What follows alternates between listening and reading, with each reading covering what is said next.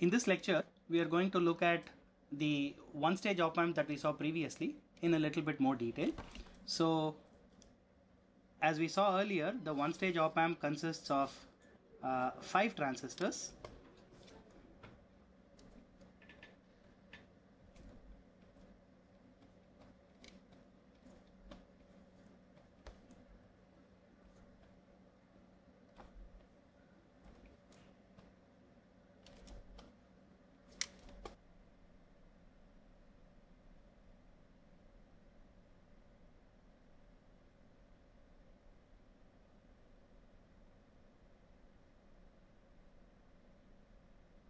So these five transistors are M1, M2, M3, M4 and M5 and M5.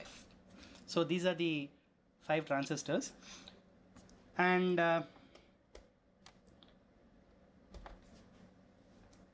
we saw earlier that M5 carries a current 2 I naught. And purely because of the symmetry between M1 and M2 there will be a current I naught through each of these two sides and uh, the output is taken at the drain of M2. Now let us look at the DC picture in a little bit more detail.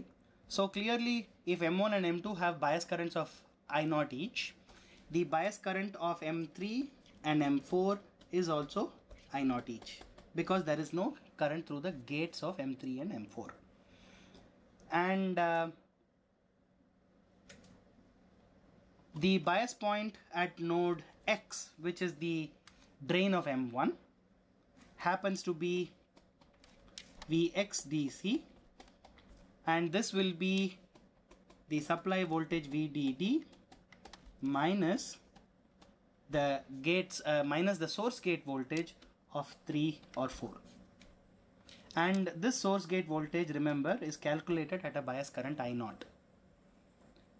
So the bias points of M1, M2, M3, M4 are calculated with a bias current I naught.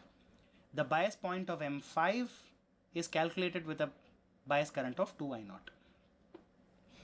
So node X is at a voltage VDD minus VSG 34.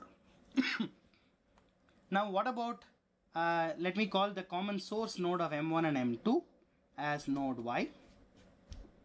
So node Y, uh, and I'll also call the output as node Z because we will be coming to that next. So we need to find out the bias voltage at node Y.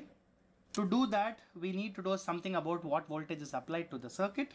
So I'm going to say that the input has some VB bias voltage and a differential voltage VD by 2 and minus VD by 2 applied to the to, to the two halves. Now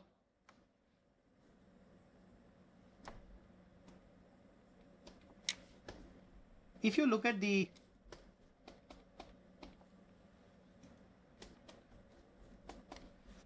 if you look at the two sides from a bias point of view, now you see that all bias voltages should ideally be symmetric and the two transistors have the same current and therefore should have the same VGS voltage. Uh, VGS1 will be the same as VGS2 and therefore Vy should be VB minus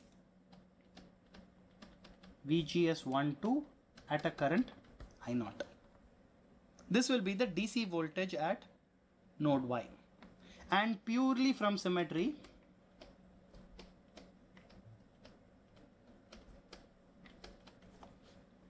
if everything is matched between the two halves of the circuit, we can say that Vz will be equal to Vx will be equal to VDD minus VSG34 at a current I naught. This is purely from symmetry uh, in reality, the DC voltage at node Z will be set by DC negative feedback around the op amp. Now, we have now set the DC operating points of all transistors. We know the VGS, we know the VDS, we know the bias currents. Now let us look at the uh, two other important DC parameters of interest. Uh, what is called the input and output common mode range. So now, since the input bias voltage is common between both sides. The average voltage between the two inputs is now going to be the common mode voltage.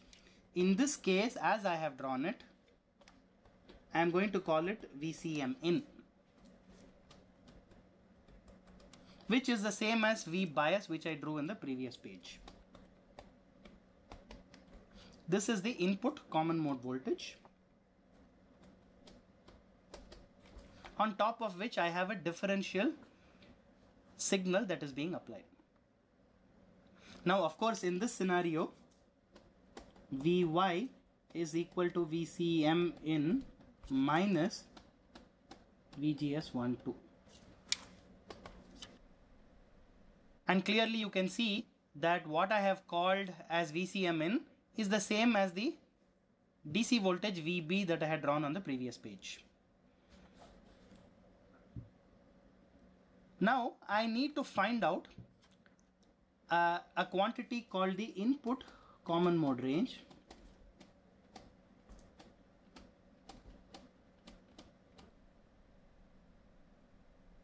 And the which is i am going to abbreviate it by ICMR and the output common mode range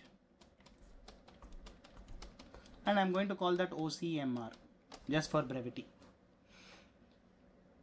Now assume that the average voltage at the input is changed. It can be either decreased or increased. I want to find out what the absolute limits are for this particular input common mode voltage VCM And I can say the same thing for the output common mode voltage VOCM or um, the output common mode value. Now suppose I start decreasing VCM in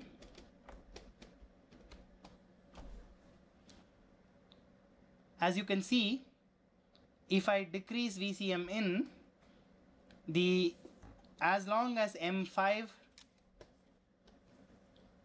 has a very large output resistance its current 2 I0 will not change too much. And the two transistors M1 and M2 will still carry the same current I0 and an immediate consequence of this is that they will have the same gate source voltage. And therefore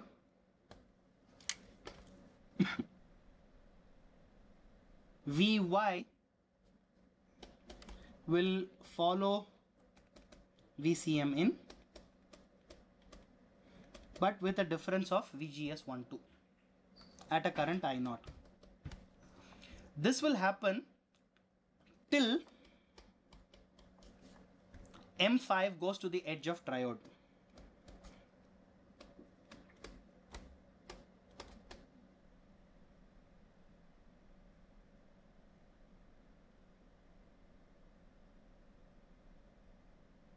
So if I keep reducing the input average value, the value of Vy will follow it directly because M5 even for changes in the drain voltage M5 keeps the current constant. It is meant to be a current source and therefore Vy will follow VCM in. But this will happen only till M5 is in the saturation region. The minute it goes into the triode region, any change in Vy will cause a large change in I0. So till that happens, uh, the circuit will behave properly and the GM, RDS, etc. of M1, M2, M3, M4 will be maintained. So the minimum value of VCM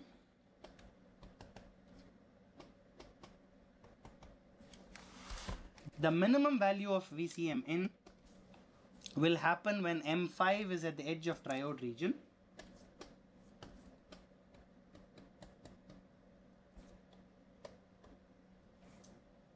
and at that point Vy is equal to VB5 minus VT5 and this voltage because there is no signal component this also happens to be VD sat of M5 calculated remember at a current 2 I naught.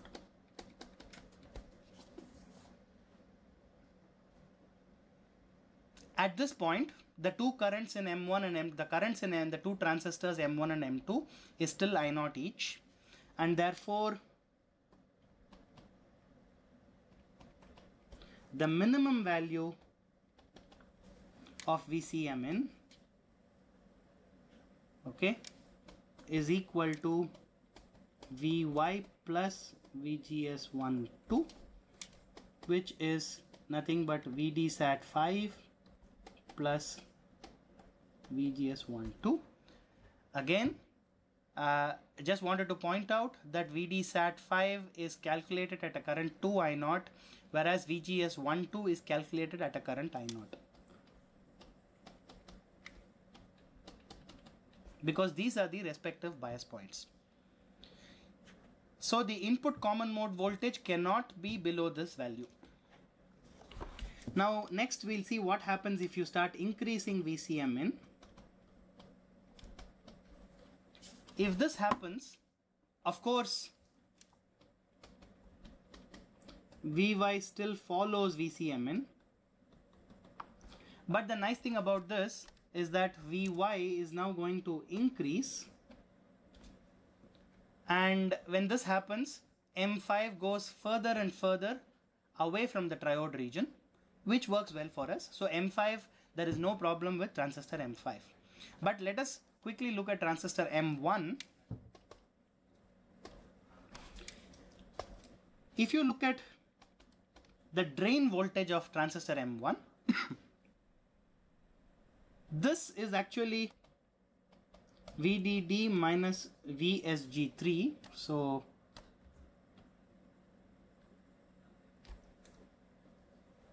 as you can see VDD minus VSG3 is the voltage at node X.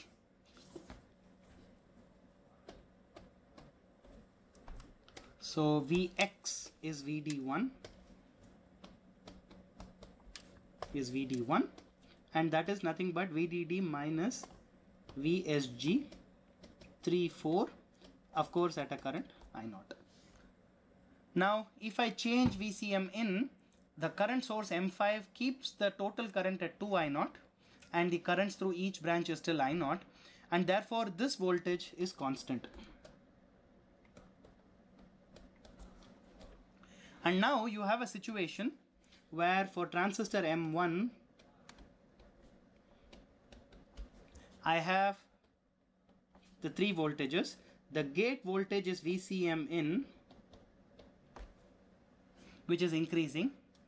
Vy is also increasing at the same rate so that it maintains a constant VGS. But this voltage is constant. Therefore, eventually transistor M1 will hit the edge of the triode region. And this tells us that the maximum value of VCM in the input common mode will happen when M1 is at the edge of triode region and that will happen when the gate voltage is exactly one threshold voltage above the drain. So that will be VDD minus VSG34 plus VT1.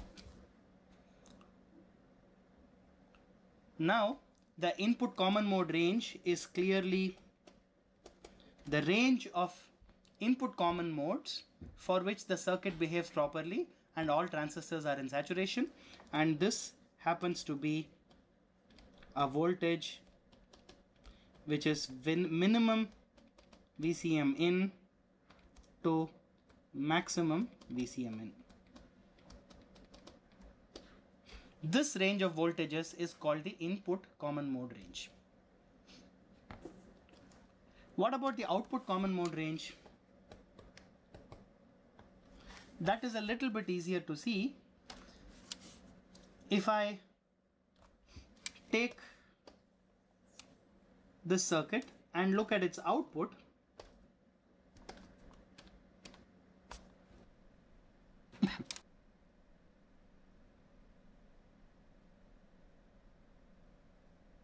so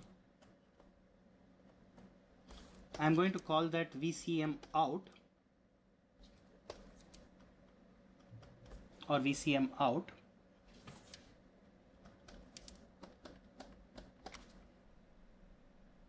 So the maximum value of VCM out happens when M4 is at the edge of triode region. So if you try to increase VCM out,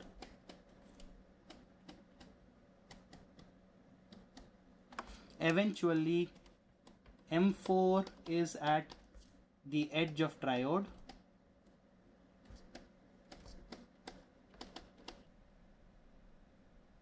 And this will happen at a voltage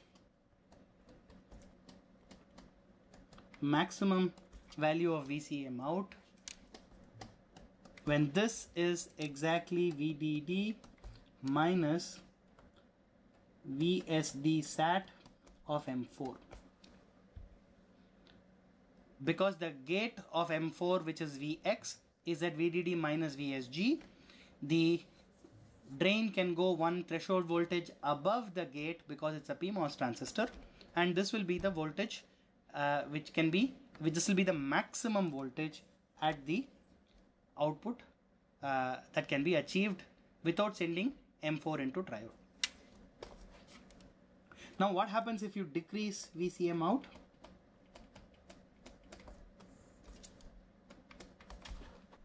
If you do this, you can see that the gate of M2 is held at VCM in.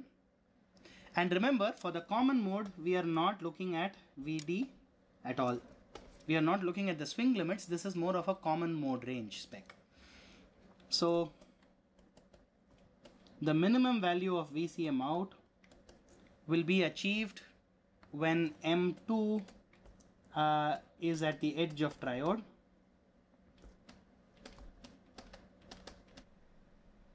And this will happen at a voltage uh, when the drain of M2 goes uh, one threshold voltage below the gate and the gate of course is at VCM in Remember that the op amp will have a particular common mode anywhere in the input common mode range. Uh, and once you have chosen the input common mode range, the output can go only one threshold voltage below the input common mode value. And now, of course, the output common mode range of the circuit is this range, which is minimum value of VCM out to maximum value of VCM out. this is the output common mode range of the op amp.